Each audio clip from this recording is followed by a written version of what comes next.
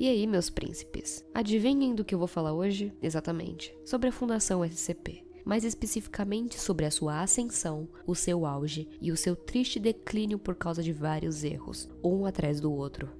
Começando pelo começo para dar um contexto para nossa história, o site da fundação foi criado no ano de 2008 por vários escritores anônimos que criaram esse universo inteiro na internet. Essas criaturas e histórias rapidamente ganharam popularidade, e a Fundação SCP se tornou um fenômeno que explorava o desconhecido e o inexplicável, sendo uma organização secreta dedicada a conter, proteger e explicar coisas anormais que aconteciam no mundo. E isso realmente funcionava. Eu lembro que direto eu tava respondendo um monte de comentários que achavam que essas coisas realmente existiam. Porque não existiam só criaturas que você olhava e já sabia que era absurdo de existir. Mas existiam SCPs como, por exemplo, o SCP-169, que dizem ser uma criatura gigantesca que vive no fundo do nosso oceano.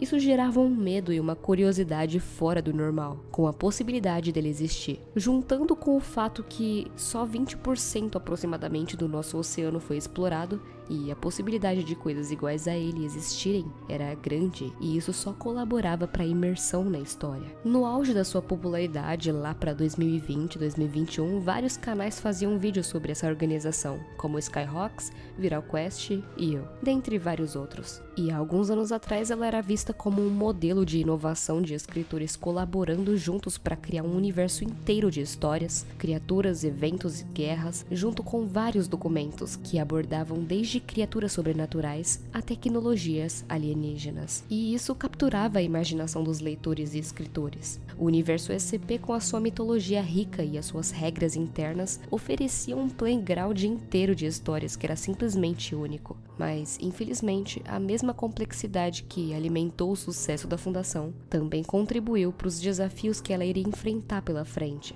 À medida que a base dos fãs crescia, surgiam contradições e conflitos internos. Eles precisavam manter a consistência das histórias num universo tão grande, e isso se tornou um desafio cada vez maior.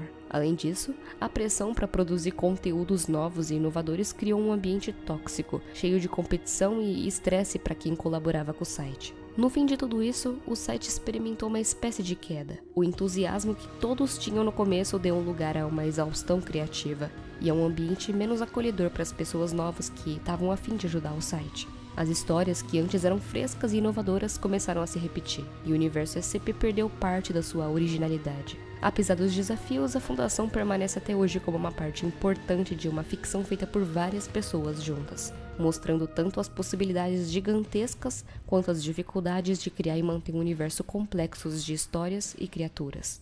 Muitos já devem ter percebido o porquê o site sofreu aquela queda e a popularidade caiu bastante. A primeira foi a saturação. As histórias e criaturas começaram a se repetir e se repetir, e se tornaram cada vez menos inovadoras. Começaram a lançar do nada milhares e milhares de SCPs, e era quase impossível de acompanhar, e a maioria com uma qualidade bem duvidosa. E com isso já posso puxar o próximo tópico, que seria sobre a qualidade dos documentos. A quantidade aumentou e muito, mas a qualidade das histórias e criaturas foram lá para baixo, e se tornou principalmente repetitivo. Talvez isso tenha conexão também com os administradores das páginas que começaram a aceitar todo tipo de coisa lá. Como existiam tantas criaturas, contos e histórias inteiras, as informações começaram a não bater. Começou a existir muitas contradições e isso virou um caos lá dentro.